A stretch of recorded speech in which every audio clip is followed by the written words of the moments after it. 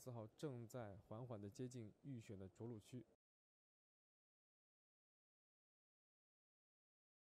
现在通过大屏幕看到，现在是播放的是刚才着陆的过程当中，通过降落相机拍摄到的月球背面的画面。红色的方框，那么这个呢就是嫦娥四号的预选着陆区，它位于月球背面的南极埃德肯盆地当中的冯卡门撞击坑。探测器自主判断的方式来确定着陆地点，地面上的人员呢，其实没有机会对它进行一个干预。主发动机关机。这个整个的这个动力下降的落叶的过程，应该说是咱们整个呃探嫦娥四号这个任务里面最关键的一环。啊，也是这个最后实现咱们落月、实现后面巡视探测中的一个一个基础。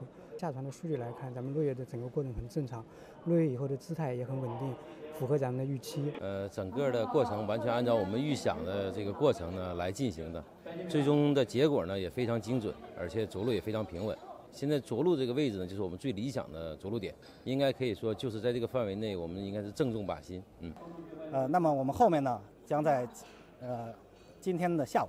开始，历时大约六个小时，我们的巡视器将从着陆器上实抵月面，这是一个更加重要的一个历史时刻。人类的探测器第一次降落在月球的背面，不仅是中国航天新的突破，同时也开启了人类探月的新篇章。